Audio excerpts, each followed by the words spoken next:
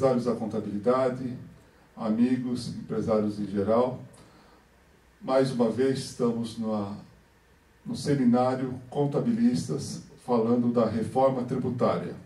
Hoje estamos recebendo para fazer as perguntas o presidente do IBRACON da quinta região, Marco Antônio Fabre. Muito obrigado, Fábio, pela sua presença. E para responder sobre a PEC 110, nós estamos com o deputado Luiz Carlos Jorge Rauli, professor de Economia e Educação Física. Educação física, para os contadores é bom, viu, doutor? Porque a gente não faz lição de casa, ninguém faz exercício físico aqui na contabilidade.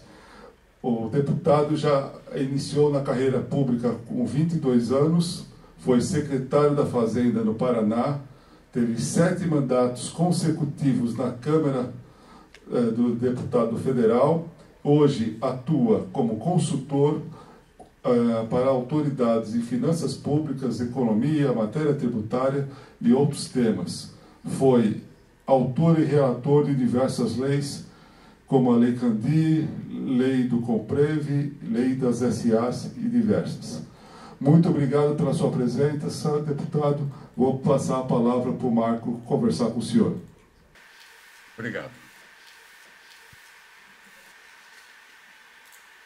Boa tarde, deputado Rauli. É um prazer recebê-lo aqui na sede do SESCOM para essa entrevista. O senhor que é o, o autor intelectual da PEC 110, né? tema de, desse nosso bate-papo. É, para suas considerações iniciais, qual a importância de uma reforma tributária para o país nesse momento? O, o Brasil precisa de um novo sistema tributário, harmônico ao sistema internacional da OCDE, com IVA na base do consumo, manter o seu imposto de renda e aperfeiçoar o imposto de renda e aperfeiçoar os seus impostos patrimoniais. O IVA brasileiro, que não existe, ele é uma miscelânea de tributos que acabou ocasionando o manicômio tributário brasileiro e com tantas incongruências, inconsistências, que acabou destruindo uh, a economia brasileira. Há 42 anos, o Brasil parou de crescer como cresceu nos 80 anos anteriores. O Brasil teve um período de 30 anos, do começo do século 20 até 1930, um crescimento de 5% ao ano. De 1931 a 1980, um crescimento de 6,3% ao ano, o dobro do crescimento americano. De 81 para cá, nosso crescimento caiu para 2%, exatamente no momento que começou a ascender o crescimento dos tigres asiáticos, o Brasil declinou, porque ele tinha uma deformação de origem do sistema tributário editado em 1965, com a emenda complementar 18, que dividiu a base de consumo em três. Pegou a base do consumo, ao contrário do que a Europa e os demais países desenvolvidos do mundo adotaram um imposto único na base do consumo nacional, destino e alíquota por fora, o Brasil adotou tudo ao contrário, dividiu a base de consumo, desmembrou os serviços e deu para o município com o ISS, eh, deu os bens para o Estado com o ICMS e ainda criou um adicional de tributação de bens, que é o IPI, o famigerado IPI. E após a Constituição de 88, com as derrotas de partilha que a União sofreu na Constituinte em favor de estados e municípios, perdeu grande parte da arrecadação do imposto de renda e do IPI e perdeu seus impostos únicos para os estados e municípios, a União Federal piorou o sistema que já era o pior do mundo.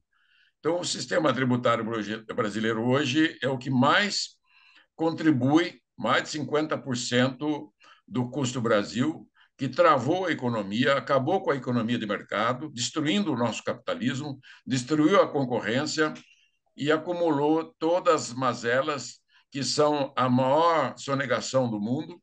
O Brasil hoje tem mais de 25% do PIB na informalidade, é, com 8% de sonegação fiscal ao ano, tem 700 bilhões de renúncias fiscais dentro do, do sistema tributário brasileiro, tem uma inadimplência que já soma 45% do PIB, o estoque de dívida ativa a receber da União, Estados e Município, acumulando ao ano em torno de 3% do PIB de inadimplência de pagamento dos impostos declarados, é, tem um custo burocrático é, que vai de 1 a 2% do PIB. O Banco Mundial fala em 1% do PIB, o IBPT fala em 2%. Tem um estoque de contencioso calculado pelo INSPER de São Paulo de 75% do PIB, contencioso administrativo e judicial, 7 trilhões e meio de contencioso, 4,5 trilhões de dívida ativa e, um, e uma renúncia fiscal e, e uma e uma inadimplência que, somados, dá 10% do PIB, um trilhão de reais, e de 100 a 200 bilhões de custo é, burocrático. Esses custos oneraram todo o setor produtivo brasileiro, da base da agricultura até a indústria, onerando o consumidor brasileiro, e hoje é o dia do consumidor, que está pagando, além dos 33% do PIB de impostos que a população brasileira paga por ano, está pagando 10% a mais de imposto por conta das renúncias fiscais embutidas nos preços e a inadimplência está embutida no preço. Então, em função de todo esse dano, esse estrago, a manutenção do atual sistema tributário não favorece a ninguém. Ele destruiu o nosso crescimento econômico, que nos últimos 10 anos, se nos 40 anos deu 2% de crescimento, foi o menor crescimento de emergentes do mundo, nos últimos 10 anos crescimento foi zero. Então, o Brasil nem voo de galinha tem mais. É um, é um crescimento tipo crina de rabo de cavalo, só vai para baixo. Então, minha consideração inicial que não fazer o sistema mundial preconizado e usado por mais de 170 países do mundo, 177 países do mundo utilizam o imposto de valor agregado, que deixa neutra a cadeia produtiva, porque quem paga o imposto é a sua excelência, o consumidor, não são as empresas.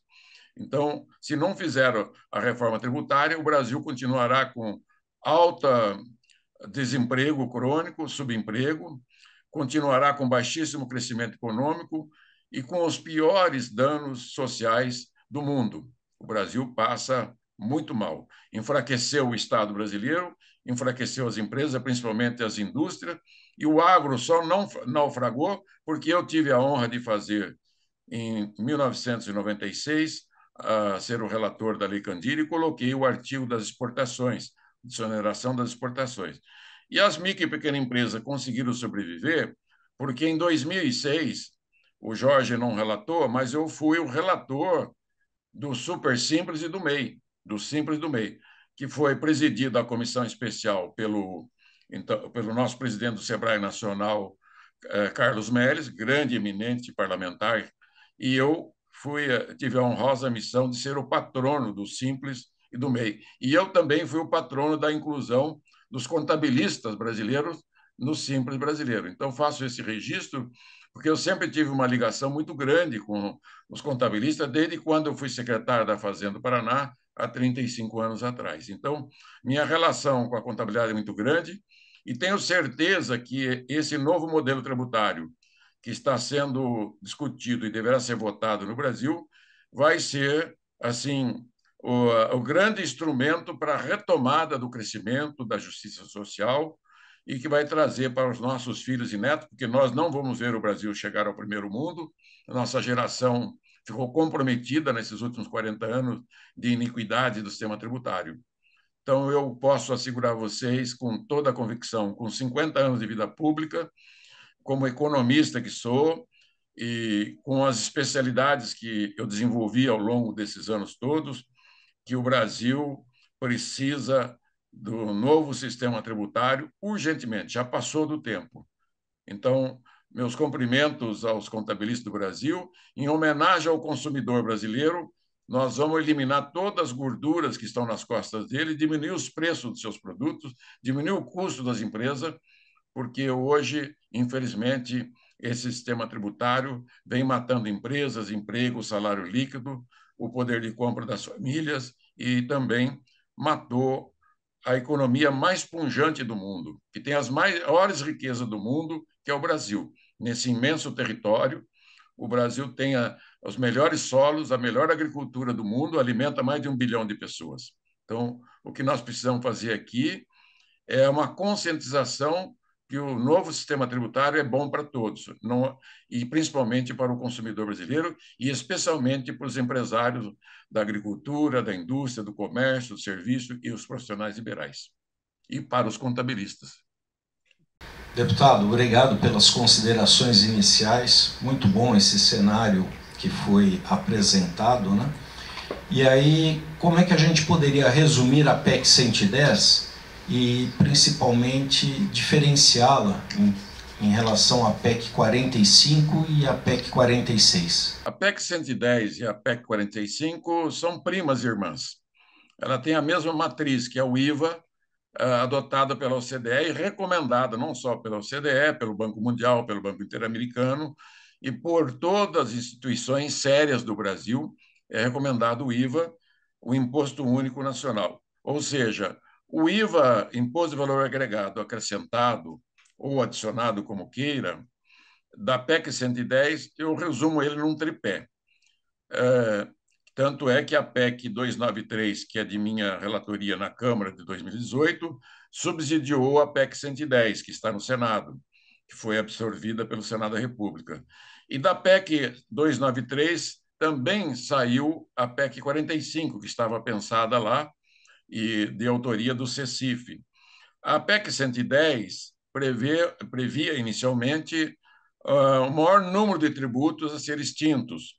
E aí acabamos discutindo nesses últimos quatro anos com a comissão mista, relatada pelo Agnaldo Ribeiro, presidida pelo relator, pelo presidente Roberto Rocha, senador Roberto Rocha, que era relator no Senado da 110, e o Agnaldo da 45, foi criado, nós criamos um grupo misto, Câmara e Senado, e daí saiu um relatório é, compatibilizando as duas PEC que está dentro da 110. Então, o trabalho de fazer a junção das PECs, grande parte dele já foi feito no relatório do senador Roberto Rocha, que está disponibilizado no Senado da República. Então, a, a simplificação começa com a eliminação de cinco tributos, que é o, eliminar o ISS, o ICMS, o IPI, o PIS, COFINS, dando lugar a um IBS, Imposto de Bem e Serviço, para os estados e municípios, e uma contribuição de bens e serviços para uh, a União Federal financiar a Seguridade Social. Na, no Senado, eh, houve por bem o senador Rocha, atendendo à Receita Federal, de ter uma contribuição ao invés do imposto, porque uh, o interesse da União em substituir o PIS/COFINS e no futuro também ele poderá substituir o, todos os tributos da Folha, o patronal, o INSS patronal da Folha, salário, educação, fundo rural, sistema S, IOF, as CIDs, poderá ser incluída todas no IVA, no, na CBS federal, porque esse dinheiro é todo para a Seguridade.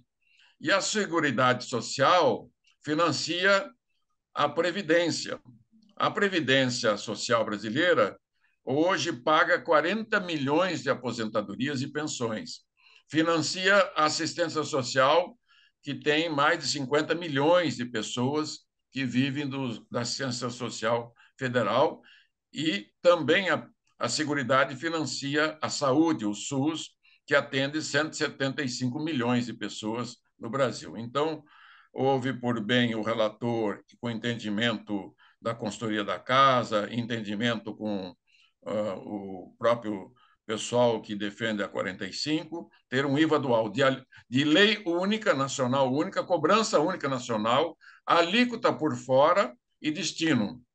E o segundo pé do tripé, primeiro é a simplificação, que começa com cinco tributos e poderá envolver todos os demais tributos, inclusive a folha de pagamento no IVA, e em seguida, a, entra a cobrança em tempo real. A tecnologia hoje nos permite sair da área do, do, do, tempo analógico, que é o sistema hoje que você declara, você tira a nota de entrada e de saída no final do mês, a contabilidade faz a apuração dos créditos para preencher o DARF. Esta etapa, com a tecnologia 5.0, oferecida inicialmente pelo Dr. Miguel Abuabi, um dos maiores especialistas do Brasil na área de TI, é, oferece a cobrança em tempo real, fazendo o casamento da nota fiscal eletrônica com o pagamento do boleto. Hoje, a nota fiscal eletrônica não conversa com o boleto do pagamento que as empresas recebem. Então, com o 5.0, cobrança 5.0 no ato da transação de compra e venda, vai substituir o modelo declaratório por um modelo de crédito financeiro. E o terceiro pé do tripé é a devolução do imposto para baixar renda. Essa é uma sugestão que eu recebi em, 2000 em 2016, 17, de um auditor fiscal do Rio Grande do Sul, Giovanni, que eu adotei na PEC 293, que foi para a PEC 45 para 110. O cashback é a devolução do imposto para as famílias do cadastro único em tempo real, como é a nota paulista, a nota Paraná e a nota gaúcha, e outras notas fiscais tem pelo Brasil. Resumo do resumo. Os casos, os casos que são excepcionais é, de jurídica, é, os casos de jurídica para jurídica, não vejo problema de nenhum do IVA, porque as notas, os créditos serão absorvidos de uma empresa para outra. O exemplo, o escritório de contabilidade prestou serviço para a empresa, ela, ah, ela interna esse crédito né, do imposto que ele vai pagar, porque uma das a proposta do Miguel Boab é inverter o pagamento. A empresa não vai precisar mais fazer o DARF, o boleto. Ela vai ser automática, instantânea, gerando-lhe um crédito financeiro a cada a, a cada compra que ele fizer, não mais pela venda, e assim sucessivamente. Então, com crédito universal, todos os créditos serão absorvidos, e desde a agricultura, que hoje é micada, o agricultor brasileiro é o mais lesado no Brasil, porque ele fica com 12% de resíduos de crédito que ele não consegue receber, repassando isso no preço para frente, e quem vai receber esses créditos é o exportador, a trade, que sempre são as grandes empresas multinacionais e algumas poucas empresas brasileiras e algumas poucas cooperativas. Resolve o problema do crédito, exportação zero de impostos, ativo fixo zero, com devolução em tempo real dos créditos do ativo fixo. E com isso você vai ter um sistema neutro em que o agricultor, pela primeira vez na história, vai receber de volta o seu tributo, que hoje não, recebe, a indústria vai ter 100% dos seus créditos devolvidos e o varejista também. Remanece a questão dos serviços, que se resolvermos transferir a carga tributária do patronal e os outros encargos da Folha, com exceção do, do INSS do empregado e fundo de garantia, que não tem como transferir, para o IVA, você dilui isto para todo o Brasil, nas 21 milhões de empresas que nós temos, mas e faz com que o sistema fique o mais moderno sistema de IVA do mundo, né? Cobrança em tempo real, crédito em tempo real, cashback em tempo real. Deputado, na palavra do senhor, no começo nós tínhamos na 110 a questão da contribuição social, a CLL né, e o CID. Então hoje já não se fala mais nesses dois tributos ah, na PEC, da unificação do CID e da contribuição social? Não, a CSL ia fazer fusão com o imposto de renda. Eu entendo que uh, o governo federal, na Constituição de 88, quando ele perdeu 15% do imposto de renda para os estados, porque os estados e municípios já tinham 32% do imposto de renda e passou para 47%. Hoje é 50% da arrecadação do imposto de renda pertence aos estados e municípios. E 57% na época passou para 57%, o IPI hoje é 60%, a União Federal perdeu interesse por esses dois tributos. Daí ela criou um imposto de renda disfarçado de contribuição, a CSL. Então, a minha a proposta original da PEC 110, da 293, é a fusão da CSL no imposto de renda. Então, não, não se trata de transferir a CSL para o, o IBS, para a CBS, para o IVA federal. Então, sim, na proposta inicial da 110 tinha nove tributos, né? que seria a CID, adicionar todas, nós temos 36 CIDs, né? Uh, adicionar a, a salário educação, fundo rural, o IOF, famigerado IOF, que é um imposto que tributa o empréstimo, é um imposto que tributa o cheque vencido e, e o cartão de crédito vencido. Eu chamo ele de imposto vampiro, chupa-cabra, né?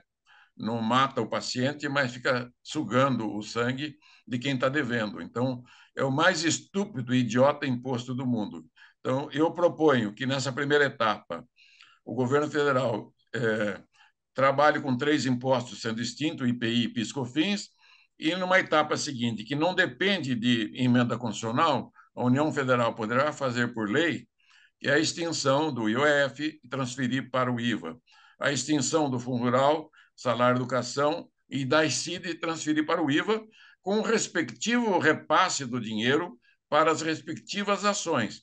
Como nós fizemos do PIS, o PIS-PASEP, é, o dinheiro é do trabalhador, do é, Fundo de Amparo ao Trabalhador, 60% e 40% do BNDES. Isso está lá no texto constitucional, repassando constitucionalmente como é repassado para estados e municípios. Então, é muito tranquilo é, esse repasse. Né? Aí sim, você garantindo a recurso né, para essas entidades, esses setores que têm tributações específicas ou contribuições, como é o caso das CIDs. Aí sim ficaria uma higienização, uma limpeza completa do sistema tributário. Mas somando todos esses pequenininhos, aí é, não dá 1,5% é, de arrecadação. Os cinco tributos que serão extintos, ISS, ICMS, IPI, PIS e FINS, representa 13% do PIB brasileiro. O menor deles é o, o, o ISS, que é 0,9% da arrecadação, é um imposto nanico que existe há 55 anos e que nunca conseguiu sair, passar a barreira de 1% da arrecadação, enquanto que o ICMS, em 55 anos, representa 7,2% da arrecadação nacional. Então, a ideia é que o Estado e o município tenham um imposto robusto. Hoje, o ICMS representa 21%, 22% da arrecadação nacional, o ISS representa 2 e pouco, 3%. Então, os estados e municípios ficariam com um imposto sobre bens e serviços de base ampla, pegaria tudo, todas as transações digitais, tudo, uma base ampla, muito ampla, com enormes ganhos para os estados e municípios, e ainda um adicional de imposto que você me perguntou, o que, que tinha da 45, foi absorvido na 110, já foi absorvido, a, autonomia que o Estado, e os Estados e municípios terão de uma alíquota adicional eh, a ser aprovada por legislação local. Somente uma pequena alíquota adicional para eventos necessários em caso de emergências. Deputado, qual a diferença do IVA da 110 para o atual ICMS? É total, né? O ICMS, ele grande parte é cumulativo, ele, embora ele seja um imposto de valor agregado, ele não é, não é automático, ele é declaratório, né? ele tem alíquota por dentro. O que é o pior do ICMS é a alíquota por dentro. É simplesmente é, abominável que se faz com a cobrança do ICMS. O 18%, que é a alíquota de São Paulo, não é 18%, é 21%. E ainda mais com a última decisão do Supremo, que convalida que eh, os outros tributos fazem, eh, os outros fazem parte da, da cobrança, vai para 23%. Então, a, alíquota hoje do ICMS é de 23%, não é de 18%. E que é pior, a Fiesp fez um estudo já há alguns anos e em que demonstra que a alíquota média industrial, somando o IPI, o PIS, COFINS e o ICMS, a alíquota média é 55,04%, a alíquota média do setor industrial brasileiro. Tem a maior carga tributária do mundo, 30%, 40%, 50%. É, deputado, o senhor poderia explicar um pouquinho mais para a gente aí a questão do crédito amplo, para não demorar aí os 30 anos, né? 30 anos de discussão se dá crédito, se não dá crédito, deputado. Né? Então, como o senhor IAPEC fala da, do crédito amplo, explica um pouquinho para nós o que seria esse crédito amplo. Os IVAs internacionais, o que é recomendado pela OCDE, nós trouxemos aqui o, o diretor do, da OCDE, eh, do IVA na OCDE. ele e a sua assessoria, e vários vieram para o Brasil várias vezes, estão acompanhando que nós vamos adotar o que eles já adotaram há 70 anos: é o crédito universal.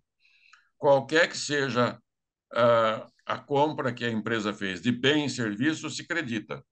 É, não terá mais essa distinção idiota, estúpida, ignorante que o Brasil tem hoje, de dizer que se o, o tipo do. se é sapato, se é tênis, é, se você, a luz do escritório não pode acreditar, mas da planta industrial acredita, né, a conta de luz e etc. Então, o crédito universal é tudo que é crédito, desde que seja pago. Então, um crédito financeiro. Hoje, o modelo brasileiro é do crédito escritural, que é um banzé no Oeste. Né? Uma das piores coisas que eu vi minhas duas vezes que eu fui secretário da Fazenda do Paraná, que é o quinto estado do Brasil, indo para o quarto estado do Brasil, são os créditos. Crédito podre, nota fiscal calçada, paralela, né? todas as espécies estão dentro desses créditos. Tanto que a Receita Federal, a Receita Estadual, vive glosando crédito, uma briga infindável. E o que é pior, né? Os créditos de exportação, ah, os estados estão devendo mais de 150 bilhões para os exportadores brasileiros. Então, o que e outra coisa que é pior, né, que não tem correção monetária os créditos. Então, eh, nós vamos eliminar tudo isso. Vai eliminar a necessidade de distribuição tributária, margem de valor agregado, vai eliminar, porque não haverá mais inadimplência no modelo de cobrança, não haverá mais crédito escritural e não haverá mais autopagamento. O imposto será automático feito e cobrado pelo Estado brasileiro. A contabilidade vai voltar para a sua função, que é a original no mundo inteiro. O que é a contabilidade no mundo? Ajudar a empresa o empresário a gerenciar o seu negócio, o estoque, a rotatividade do estoque, ajudar a gerenciar as margens de custo, de lucro, que é o que não se faz há muitos anos, em função do desperdício da inteligência do nosso contabilista brasileiro e dos seus trabalhadores, que ficam envolvidos com bilhões, bilhões de informações desnecessárias que são mandadas eh, para o fisco municipal, estadual, federal, um, um vai e vem de papel, na pior e mais ignorante burocracia do mundo, que colocou o Brasil no pior sistema tributário do mundo, segundo o Banco Mundial. O Brasil tem o pior sistema tributário do mundo pior ambiente de negócio do mundo. Nós vamos eliminar todos esses males de uma vez só com a criação do IVA nacional. Deputado, o senhor falou aqui brilhou os olhos de todos os contadores, né? Vão fazer contabilidade e não ficar fazendo obrigação acessória. Mas uh, essa questão do crédito financeiro, nós não corremos o risco de prejudicar uh, eventualmente um, fornecedor que acabou não pagando e eu que acabei comprando, né? a empresa que acabou pagando lá o IVA, o IBS, e o meu fornecedor não pagou, eu não estou transferindo um, um ônus de fiscalização para o cliente desse fornecedor? Esse é o teu plano de negócio, né? O sistema de débito e crédito, para você receber, você comprou, é, o, o, de quem que você, comp, você que comprou. Se você comprou, você que vai pagar. Não é o teu antecessor. Você vai receber o que você pagou, não o que o outro pagou lá atrás. Entendeu? Ele só vai receber. Vamos fazer uma cadeia produtiva curta aqui. Saiu a matéria-prima, foi para a indústria. 100 reais pagou 20, 120. 20 foi para o governo a matéria-prima recebeu 100. Foi para a indústria. Industrializou, vendeu por 240. 40 foi para o governo e 200 para a empresa. Nesse momento, nesse momento ele recebe de volta os primeiros é, 20 de 100. Ok? Então, mas se o, o primeiro lá não recolher a parte do governo, uh, ou não vai ter essa possibilidade? Assina comigo. Raciocina comigo. Você vai receber o que você pagou. Entendi. Você comprou, você comprou, fez a compra, você comprou o estoque da tua empresa, gastou 100 mil reais. Você comprou 100 mil, você pagou 120. 20 automaticamente. Ao você fazer o repasse financeiro, ele é retido. Ele vai direto para o, o Comitê Gestor Nacional. Aí você ficou com 20 de crédito, você agregou 100. De 100, você agregou 100, foi para 200, com 20% vai 240. O, o 40 vai para frente, ele te devolve o que você pagou. Nesse momento, ele devolve o que você pagou. Então, não há risco de negócio, ao contrário de hoje. Hoje você vendeu a prazo, você paga antecipado. O, o, a substituição tributária calcula por pequeno lá embaixo até o preço final com a margem de valor agregado. Isso é uma insanidade. Isso é contra a economia de mercado, isso é contra o liberalismo. Isso é um, é um comunismo dentro da, da, da estrutura tributária brasileira. Deputado, vamos falar um pouquinho sobre o período de transição do sistema atual para o sistema proposto pela PEC 110. Qual seria o período mínimo e se o senhor entende que conviver com os dois sistemas simultâneos não traria uma, um ônus aí, né, para o próprio contribuinte, né? Uma piora aí do ambiente econômico, afinal de contas você trabalhar de forma simultânea dois sistemas por um período longo, isso tem um, tem um custo, né? Olha, eu vejo é, uma das críticas que se faz é esta, essa historinha, né? Uma história com E, né? Que inventaram aí. Se você tem uma mudança grande de sistema, como é que você vai fazer? Qual é a receita do bolo? Você tem que fazer a transição. Não tem outra forma, né? Primeiro, parar, virar uma, coisa verdadeira. Segundo, como o primeiro ano vai ser da Receita Federal, a Receita Federal é PIS, COFINS e IPI. É muito tranquilo, é muito tranquilo para a Receita Federal fazer e já adotar o modelo eletrônico de cobrança instantânea. Feito esta feito essa transição federal, porque o governo federal não terá esse problema, vem o, o imposto o ICMS e o ISS, eu acredito que quatro, cinco anos você pode fazer a transição do ICMS, porque nós resolvemos o problema é, dos estados e municípios, da partilha, que é diferente da transição para o setor produtivo. No meu modesto entendimento, a hora que a Receita Federal fizer o IVA único, nacional, destino, alíquota por fora, elimina todo o contencioso, 90% do contencioso, que é baseado nessa milonga toda, né? É, da alíquota por dentro, das cobranças antecipadas e etc. Então, quando a Receita Federal implantar, não haverá nenhum prejuízo para nenhum setor produtivo. Já no segundo ano em diante, com essa expertise, com o que os estados já estarão desenvolvendo de nota fiscal eletrônica e alguns procedimentos que o doutor Miguel Abuabi que é o maior especialista do Brasil em abastecimento alimentar. Ele hoje, o software dele gerencia 80% do supermercado do Brasil e ele bolou o modelo de cobrança em tempo real. É, algumas, algumas interferências é, já poderão ser feitas desde já nos estados e municípios, casando a nota fiscal eletrônica com o boleto de pagamento. Ao fazer isto, ele já antecipa 80%, 90% da transição, porque o, o ICMS ele é declaratório e ele sendo declaratório, a nota fiscal não conversa com o boleto de pagamento que a empresa recebe. Né? E ele é declaratório e autopagamento. Então, você, ao eliminar isso, você vai ter um ganho extraordinário na, também na transição mais rápida. Uh, estamos estudando o modelo da Índia, como é que foi feito lá se porque lá é o IVA dual também, né? porque era uma, é uma miscelânea maior, é uma federação mais complicada que o Brasil. Mas nós temos uma consultoria direta do IVA dual canadense, é, em tempo real, a doutora Milina Rocha está lá e está atendendo aqui a, a modelagem, a nossa modelagem brasileira.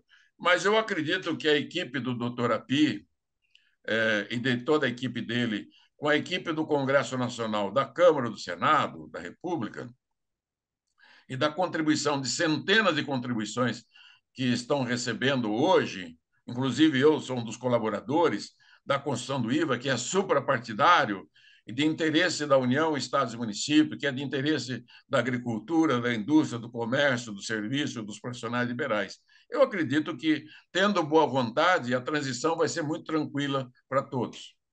Existe uma resistência dos municípios sobre esse, esse modelo. Como resolver a autonomia da gestão de recursos e quebrar essa resistência, que inclusive é do setor de serviços? O município brasileiro hoje, com o ISS, arrecada 0,9% do PIB, que representa menos de 3% da arrecadação nacional. O que acontece com o ISS no Brasil é uma das aberrações do, do sistema tributário mais caótico e ridículo do mundo. Só o município de São Paulo, por exemplo, que tem 10,5% do PIB brasileiro, ele arrecada 26% do ISS do Brasil. Não tem cabimento um município, se o ISS é do destino, como é que pode um município arrecadar mais que duas vezes, quase três vezes o tamanho do seu PIB? A ideia do, do imposto de consumo no mundo, quando foi criado, e a quem pertence o imposto? A quem pertence o imposto? Ao consumidor, na cidade que ele mora, no estado que ele mora, no país que ele mora. Por isso que ninguém exporta imposto, ninguém importa imposto. O imposto pertence à população de onde o consumidor está radicado. Aqui criamos outra aberração, que o imposto é da origem. Ora, que que, que Robin Hood as avessas que tira dos pobres para dar para os ricos. O município de São Paulo, que é a nossa locomotiva do Brasil, do estado que é a locomotiva do Brasil, só vai ganhar com o IVA. Ao legalizar o país, ao formalizar o país, ao combater a sonegação, formalizando os empregos, vai formalizar e aumentar a arrecadação com base na expansão na sonegação. Há estudos que eu mesmo já fiz poderá aumentar a, arrecadação em cima da sonegação em até 400 bilhões por ano daqueles que nunca pagaram nada porque sonegam 100%.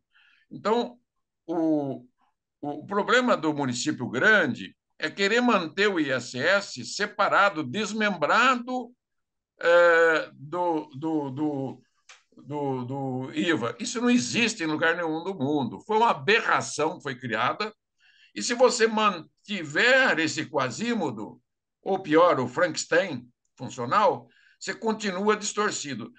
A Prefeitura do Estado de São Paulo, o Estado de São Paulo, com o IVA destino, a alíquota por fora, e com o que está lá no texto constitucional da 110 e da 45, ele vai ter autonomia de alíquota adicional.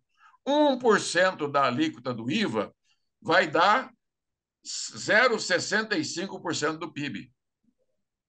1%, vai dar quase 1,5% de alíquota do IVA, vai dar mais que todo o ISS do Brasil, que é cobrado 5%. Então, o, o prefeito que caiu nessa conversa, ele precisa aprofundar. Está aqui o amigo dos prefeitos.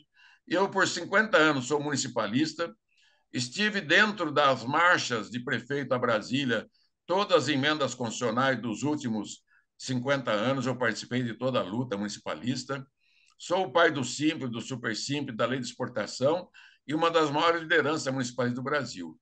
Então, eu sou longevo disso e posso dizer aos prefeitos amigos, ao prefeito de São Paulo, ao prefeito das cidades grandes do Brasil, de que confie que o IVA é o mesmo IVA que tem o prefeito de Paris, que tem o prefeito de Londres, que tem o prefeito de Tóquio, que tem o prefeito de Berlim, ele vai ter o mesmo IVA que vai receber a receita que o seu povo consumir. Ele não precisa ficar tirando dinheiro, fazendo chicana nos pequenos municípios em volta de São Paulo, tentando diminuir a base de cálculo do ISS para roubar a, a tributação um do outro. Isso é desonesto. Não há uma economia de mercado honesta com isto. Nós precisamos moralizar o sistema tributário, porque quem paga esse imposto é o consumidor final, não é a empresa. Não há que haver vantagem tributária para nenhuma empresa e nenhum prejuízo para ela. ela tem que ser neutra. Quando o imposto passar pela empresa dela, tem que ser neutro. Ela não pode prejudicar a concorrência dela com outro, nem um município com outro, nem um estado com outro. Não tem coisa mais canalha no Brasil do que a guerra fiscal entre os estados e essa barreira de alíquota de 12% e 7% na interestadual. Só a estupidez, a ignorância do Brasil para manter isso por mais de 50 anos, uma barreira interestadual, sendo que o mundo não tem barreiras tributárias. A Europa se uniu há 50 anos, as barreiras que tinha entre países já foram eliminadas pela tecnologia, pela união, pelo entendimento. E aqui nós continuamos com essa estupidez de um município brigar com o outro, o pequeno contra o grande, o grande contra o médio, e assim por diante, e um Estado brigando com o outro. E nessa história todos perderam, todos, porque a renúncia fiscal é de 700 bilhões por ano. 700 bilhões que é cobrado, que não entra no cofre da União, Estados e municípios, e que o consumidor paga, nós pagamos quando consumimos um bem ou serviço final. Deputado, aproveitando que o senhor mencionou a questão aí de alíquotas, né? e voltando um pouquinho na, na questão da, da transição, né? Como ficariam a, as alíquotas nessa fase de transição? Ora, vai começar com 1% e a alíquota será bem menor do que é hoje. Uh, hoje, as alíquotas elas são 30% superiores ao arrecadado. Como não é arrecadado não está contabilizado, você não precisa. Você vai eliminar essas alíquotas adicionais que tem sobre os bens e serviços que a população paga. Nós temos hoje 75% da arrecadação brasileira está em cima dos preços dos bens e serviços. Ou seja, o ISS, ICMS, o IPI, o PIS, COFINS, CID, o IOF, a contribuição patronal do empregado, fundo de garantia, o sistema S, fundo rural, salário de educação, representam hoje 75% da arrecadação, de uma arrecadação média de 33% do PIB, tem 25% do PIB que está em cima dos preços relativos de bens e serviços. Só que não é este 25 que está sobre 65 só, que é a população que paga. Tem mais. A renúncia fiscal, é, renúncia fiscal e a inadimplência que tem sobre os preços, porque quando você recebe benefício fiscal, você não tira do preço. Ninguém tira do preço. Está embutido no preço. E mais a inadimplência, porque você, você já recebeu esse imposto, só não recolheu. De tanto amor que ele fica com o imposto, ele quer ficar com ele no caixa.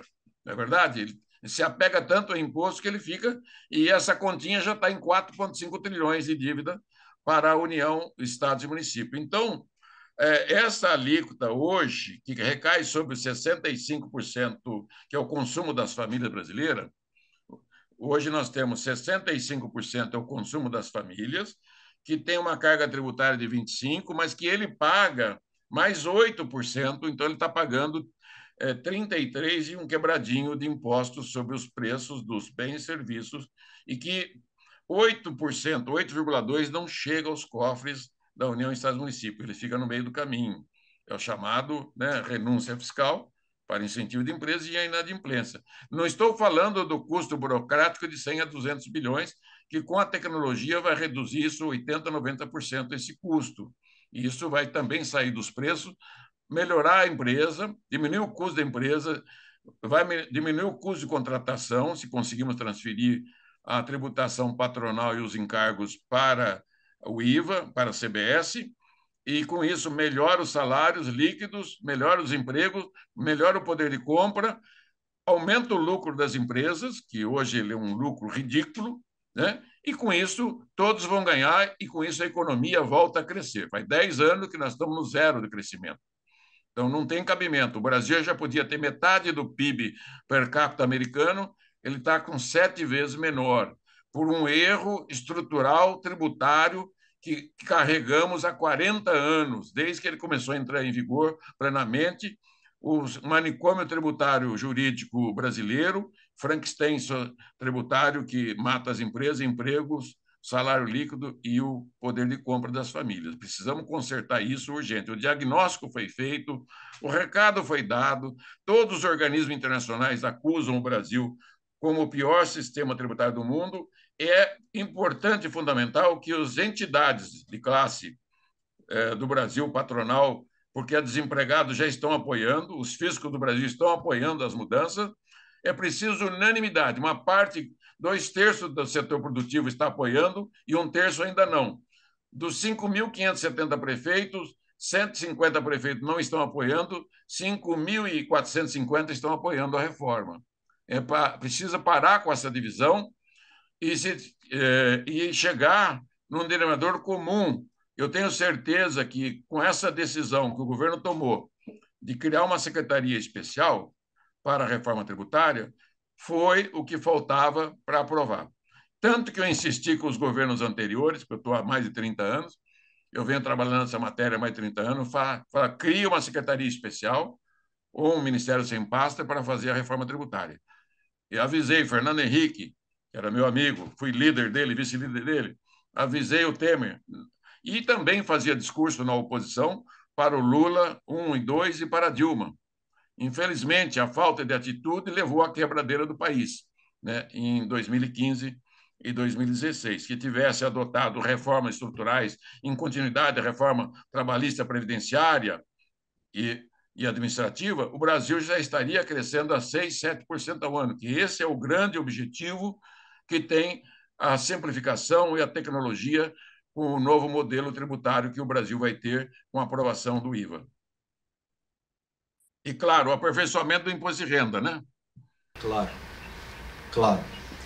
O senhor acredita que, se aprovada em 2023, seria possível iniciar a reforma em 2024? Sim. É, aprovado em 2024, 2023, faz-se a lei complementar do IVA, do CBS e IBS, uma lei nacional única, e começa em 2024 implantando a contribuição de bens e serviços federal, que vai ser a eliminação do, do PIS/COFINS e o IPI ele pode ser trocado, tá sendo, vai ser trocado por imposto seletivo monofásico. Eu pessoalmente hoje já não defendo mais o seletivo. Já defendi muito o imposto seletivo. Para mim, imposto de bens e serviços tem que ser tudo igual. Claro que cigarro e bebida tem que ter uma taxação maior, mas é só você fazer isso pela lei. Né? Não precisa sair do débito e crédito faça tudo isso numa mecânica de débito e crédito, inclusive os combustíveis. Não precisa. Tudo é do consumo das famílias, das pessoas que vão pagar essa conta. Não precisa criar tributação a maior de dois, três produtos, porque isso não vai deixar de haver consumo. Aguardente, uísque, tudo, o vinho, a alíquota chega a 60%, 70%, o cigarro também. O que aconteceu? A sonegação é a maior do mundo mais de 50% do cigarro no Brasil é sonegado. A cachaça, mais de 70% é clandestina e sonegado. O cigarro é clandestino e sonegado. Então, é melhor ter uma tributação única, né, nacional, destino, alíquota por fora, no débito e crédito normal, do que ter um imposto seletivo. Isso, no projeto, contraria um pouco o projeto, porque o projeto prevê o imposto seletivo em substituição ao IPI. Deputado, é, como justificar que não será mais vantajoso a empresa terceirizar do que ter equipe própria no regime CLT, já que o gasto com folha não gerará crédito para o IVA? A gente não corre o risco aí de uma maior pejotização do mercado? Bom, deixa eu explicar. Cabe ao setor de serviço unir, chegar no relator, nos líderes do Congresso, falar, olha, nós queremos que o IVA, que o, a contribuição previdenciária patronal, o salário educação, fundo rural, passe para ser cobrado pelo IVA, pelo CBS federal. Não existe outra forma de cobrar o imposto patronal, em substituí-lo, do que o imposto de renda, que é muito difícil você aumentar o imposto de renda. Mas é muito mais prático e fácil cobrar isso na CBS. É, eu tenho um cálculo que a patronal, para zerar, precisa de 4, 4,5% de alíquota para zerar, tá? a patronal. Porque hoje já tem 17 setores da economia gigantescos em mão de obra que já pagam sobre o faturamento. você tem 90% das empresas, que são as micro e pequenas empresas e MEIs, que pagam sobre a receita bruta. Aliás, os dois são por receita bruta, não é sobre faturamento. Então, o grosso, o grosso da, da contribuição previdenciária patronal já é feita pela receita bruta, como é um tipo de IVA, só que é um IVA monofásico. É de cobrança única sem aproveitamento do crédito.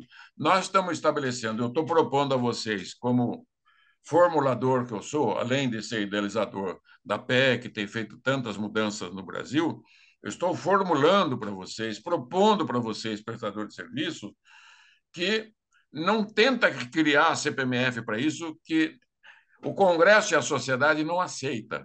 Não aceita. Isso é inaceitável tributar dinheiro. Por isso que nenhum país desenvolvido do mundo adotou. Ninguém tributa dinheiro. Dinheiro representa a sociedade, não para ser tributado como esse canalha do IOF, que tributa o meu dinheiro. Eu tenho ódio mortal de quem tributa o meu dinheiro. Eu tomei dinheiro emprestado no dia do Banco Brasil, está lá o IOF, que quando perdeu a CPMF, o governo passado, acho que era o Lula ainda, ele transferiu a cobrança para o, as transações financeiras. O sistema financeiro tem que pagar sobre o lucro, que já paga hoje é, contribuição social sobre o lucro líquido, acho que de, de 20 e pouco por cento, e mais o imposto de renda, tem que ser 30 e poucos por cento de alíquota do lucro do banco e tem que pagar o IVA da prestação de serviço, e só, não do dinheiro.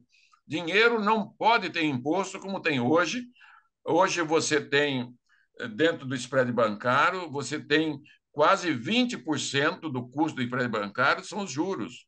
São, são os impostos cobrados nas taxas de juros que nós, os mortais tomadores de dinheiro, acabamos pagando. Entendeu? Nós temos que raciocinar que o serviço financeiro está a serviço do povo e das empresas. Claro que eles têm lucro, nós temos que vigiar o lucro deles e tributar o lucro deles. Né? Talvez por até um pouco mais de imposto no lucro, alguma coisa no dividendo também. Deputado, aproveitando, uma das críticas que é, são feitas as PECs, é, eventualmente a alíquota aí de 20, 25, fala-se até de 30%. Ah, se trouxer a CPP, o senhor está falando de mais 4%. Não ficaria um, um imposto que vai trazer um, nível de sonegação, de invasão, as pessoas não vão é, querer pagar isso na boca do caixa? Não vai eh, pela alíquota ficar tão alta? Jorge, eu também sou Jorge, viu? Sou Jorge Rauli, Luiz Carlos Jorge Rauli, viu? É, eu digo a você o seguinte: hoje é isso que você falou, é a sonegação total.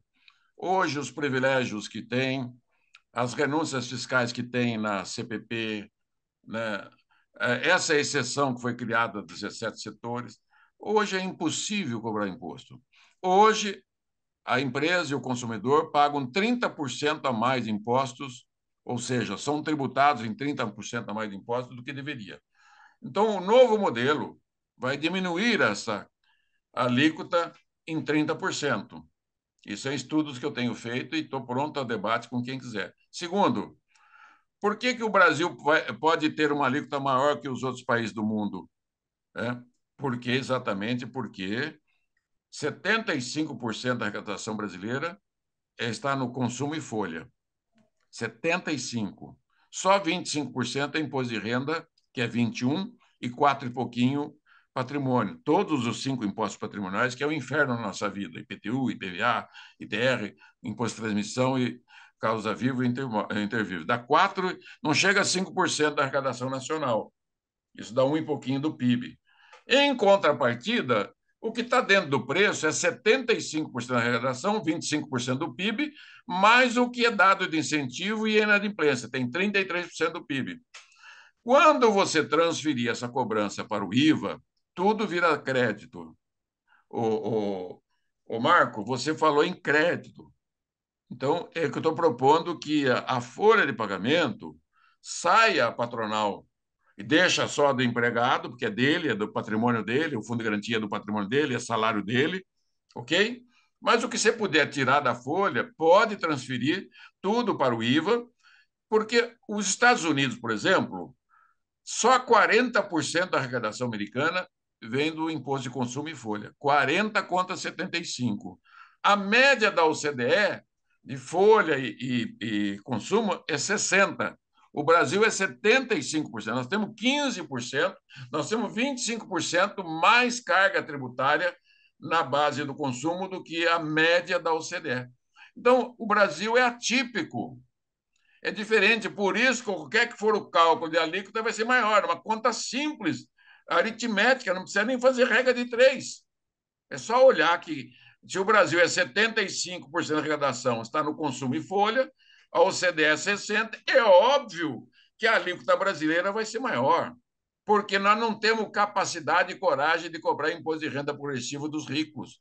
O Congresso não tem coragem de cobrar a, a, a tributação do dividendo. Está lá aprovado pela Câmara, mas o Senado não votou, está lá na gaveta. Nem que for um pouquinho do dividendo. Não tem coragem. Então, paga em cima quem que cobra de quem? Cobra de Sua Excelência, o eleitor, o consumidor, as famílias nossas e todas as famílias. E tanto que os três estudos que eu tenho de carga tributária sobre as famílias, quem mais paga é que ganha até dois salários mínimos. 53,9% de imposto direto e indireto é pago por uma família de mil reais. Ele paga 539 reais. E quem ganha acima de 30 mil reais, 40 mil reais, paga em torno de 20 e poucos por cento. O, o estudo da Fiesp é até mais duro, 18% de alíquota média de quem ganha acima de 30 salários, e o estudo deles é 48% de alíquota para os pobres.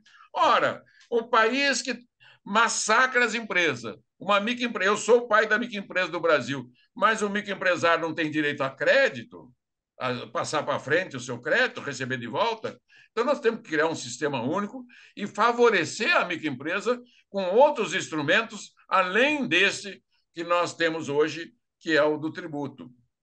É, o senhor falou justamente da micro e pequena empresa, que é o nosso grande é, nosso público, né? Os nossos clientes, a grande maioria dos empresários da contabilidade, dos contadores, são as pequenas empresas a impressão que dá é que as PECs vão acabar com o Simples Nacional, justamente por causa dessa questão dos créditos.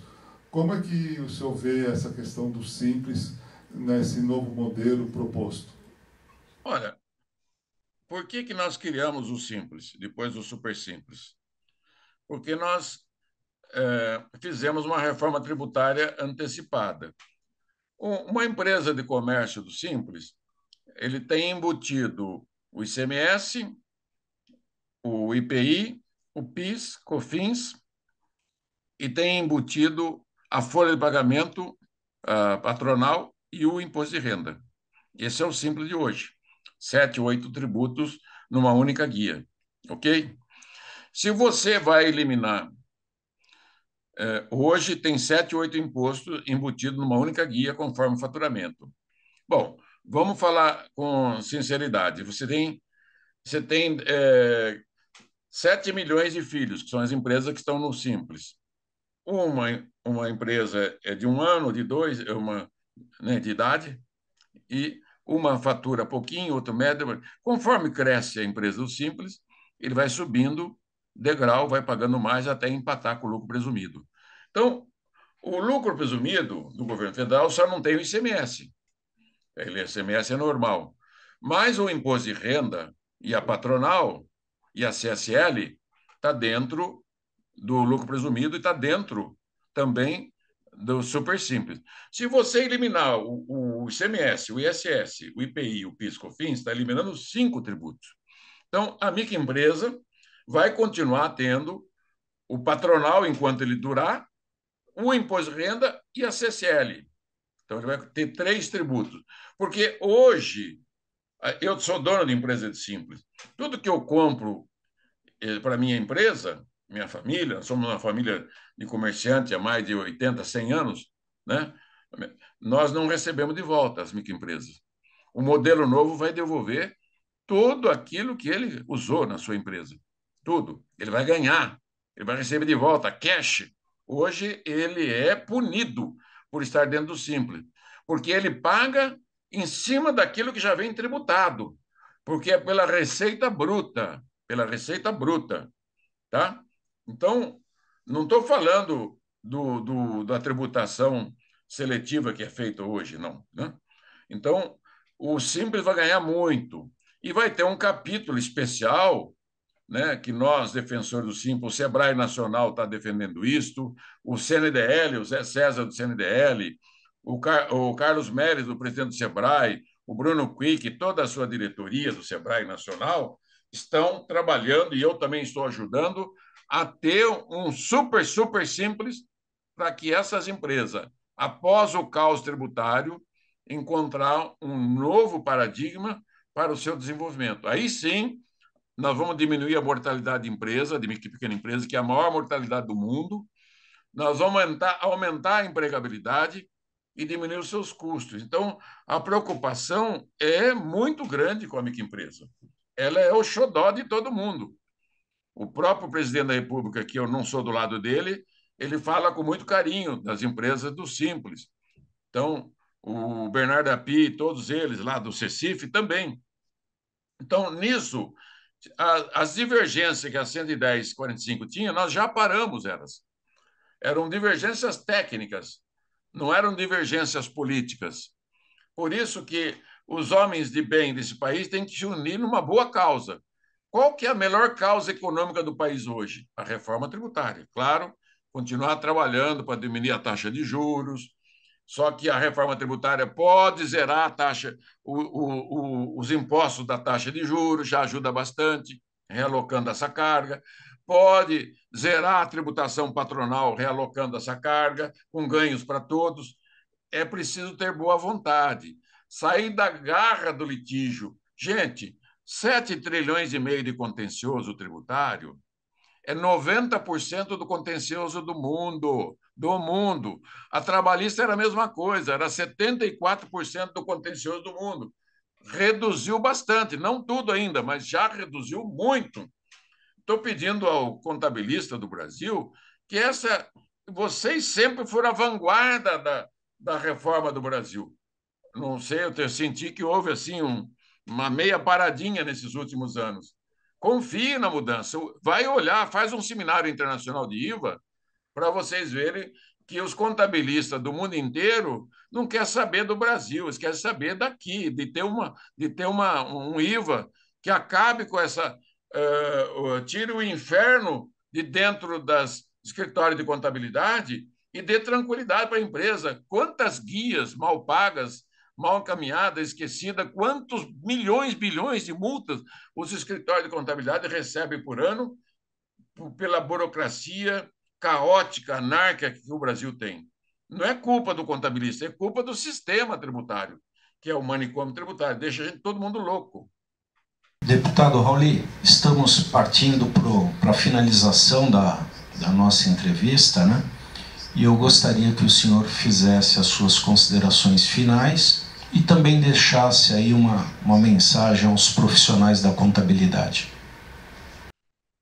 Queridos amigos e companheiros de luta, contabilistas do Brasil, homens e mulheres de contabilidade, tive a honra já uns anos atrás de falar para 3.500 mulheres contabilistas do Brasil. Eu, por nos últimos 35 anos, tive um, um relacionamento muito estreito e próximo com a contabilidade. Desde a primeira vez que eu fui secretário da Fazenda do Paraná, 87 e 90, um período de muita prosperidade para o Paraná, o meu principal relacionamento era a união do fisco com os contabilistas. E consegui. Conquistamos o fisco, conquistamos os contabilistas e demos segurança para o empresariado do Paraná, estabilidade na arrecadação e consegui dar ao governador da época a melhor arrecadação possível. Então, o contabilista é, brasileiro é, precisa apoiar o IVA. O IVA não é uma panaceia, não é o que resolve tudo, mas é o melhor sistema, o melhor imposto que tem para o consumo no mundo. Não existe outro. Fora do IVA, o modelo americano não cabe no Brasil. Né? Nos Estados Unidos, só 40% da arrecadação vem do imposto de consumo, dos 40%, 17% é o sales tax americano. No Brasil é 75, dos quais 54 estão no imposto de consumo. Então, o outro, a outra vertente, que é o imposto sobre dinheiro, é uma coisa que é, é, é, é inadmissível no século XXI você retroagir. Se a Europa, a OCDE, já tem esse modelo e está aperfeiçoando o IVA e recomenda todas as entidades internacionais, porque o IVA é bom. Nós estamos defendendo um IVA tecnológico 5.0 e devolução do imposto para baixa renda. E mais, Jorge e, e Marco, ficar atento aos casos de ponta, ou seja, o prestador de serviço mano a mano. Enquanto é CNPJ com CNPJ, tranquilo. A alíquota pode ser 10, pode ser 20, pode ser 30, não tem nenhum problema, porque quem paga é o consumidor. Mas quando é o prestador de serviço na ponta final, esse tem que ter um detalhamento na lei. A, a PEC 110, ela remete para a lei complementar a questão da saúde, da educação. Aí você tem que decidir ou reduz a alíquota de saúde e educação ou dá um cashback para aquelas famílias de classe média que mantêm filhos em escolas particulares, para que ela não faça a evasão da escola particular para a pública, e também dá um cashback para o plano de saúde das famílias de classe média, para que elas não saiam dos planos de saúde e venham para o SUS. Hoje o Brasil tem é, 175 milhões de brasileiros no SUS e 40 e poucos milhões de brasileiros em plano de saúde. É preciso que tenha mais gente em plano de saúde para melhorar a qualidade do SUS, para diminuir a quantidade de oferta né, de, de, de, demandantes de, de serviço SUS. Nós temos 50 milhões de crianças em escola pública, 40 milhões de aposentados no Brasil e pensionistas, fora os aposentados da União Estados e Municípios, que dá mais uns 5 milhões. Temos 5 milhões de benefícios de prestação continuada. Né? E temos também mais de 50 milhões de pessoas que suas famílias vivem dos, dos programas sociais. Temos mais de um milhão de policiais militares, civis, soldados. Então, o encargo do governo brasileiro, o grosso, é com a Previdência e as Seguridades. É, Previdência, Saúde, Assistência Social, Segurança Pública né? É, e Educação, né, e, e, saúde, que eu falei. Então, nós precisamos estar atento que o modelo tributário brasileiro tem tudo para mudar. Não se perca no meio do caminho. Não caia em conta de conversa fiada. Esse é o grande problema. Eu falo que é os fakes tributários, né? Está cheio de fake tributário, cada um pensando no seu queijo. Não mexa no meu queijo, vai mexer na minha prefeitura, vai mexer no meu ISS, como se o ISS é um impostinho desse tamanho, que há 50 anos está do mesmo tamanho. Claro que é melhor pagar 4, 5%, 2% de ISS do que pagar um IVA de 20, 25%, só que não faz bem para a saúde do país. Né? Você tem que entender que a sobrecarga vai toda ela para cima do consumidor final, que paga 33% do PIB mais 10% de inadimplência e de renúncia fiscal. Temos 7 trilhões e meio de contencioso de reais, 4 trilhões e meio de dívida ativa, 700 bilhões de renúncia fiscal e ao ano 300 bilhões deixa de ser recolhido aos cofres da União. Um custo burocrático de 100, 200 bilhões. É isso que nós temos que destruir, botar no fogo do mármore do amor, queimar tudo isso e começar uma nova etapa. Sair dos dois quintos do inferno. A carga tributária brasileira hoje é dois quintos dos infernos. Não é um quinto como era no Império. Lá era 20%, agora está mais de 40%, sendo que 10% não chega ao Tesouro. Vamos limpar isso, contabilista do Brasil. Vocês sabem das coisas. Eu, eu convivo com os contabilistas aqui em Londrina, em Brasília, em Curitiba. Nós nos conhecemos e sabemos de tudo o que acontece na empresa. Fui secretário da Fazenda, fui prefeito de Cambé e sei como é que funciona. Nós temos que arrumar a casa, fazer o sistema mais neutro, para que todos possam ganhar. É o ganha-ganha, como diz o Carlos Melo do Sebrae. Só é bom quando é, é bom para todos, é o ganha-ganha. Eu tenho certeza que com esse modelo de IVA, depois conserta o imposto de renda lá na frente, o Brasil vai ganhar muito. Não há outro instrumento mais importante que resolver do que esse. Claro que está cheio de problema, mas primeiro vamos resolver este.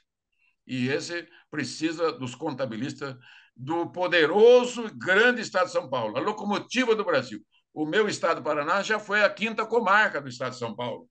Eu sempre brinco com muito orgulho. Paraná pertencia ao estado de São Paulo, até o desmembramento. Então, nós somos filhos do estado de São Paulo. Podemos dizer que o Paraná hoje é um estado de progresso, está caminhando para ser a quarta economia do Brasil. Que Deus abençoe, vamos manter o foco, a força e a fé, e vamos ficar livre dos fakes tributários. É bom, o IVA é bom. Que Deus abençoe a todos vocês. Muito obrigado pela oportunidade.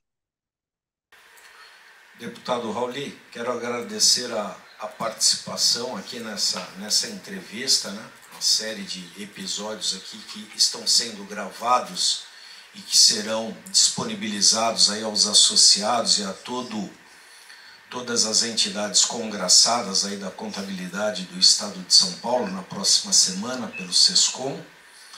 E Passo a palavra aqui para o Jorge para o fechamento do oficial da, da, do nosso evento.